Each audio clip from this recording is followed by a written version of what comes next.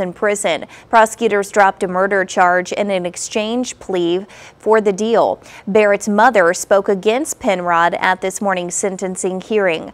Leah Mesha said, quote, a million years wouldn't be enough. As we previously reported, Penrod and three other people plotted to rob Barrett in her home on South Leah Drive. You are responsible for the result of the death of this young woman because you admitted to going into there at least with the intent to commit the robbery, and it resulted in serious bodily injury, death to poor Amber. Last week, Meyer handed down a 45-year prison sentence to the shooter, Emily Madison. Two remaining suspects, Joshua White and Joseph Adkins, are set for sentencing later this year.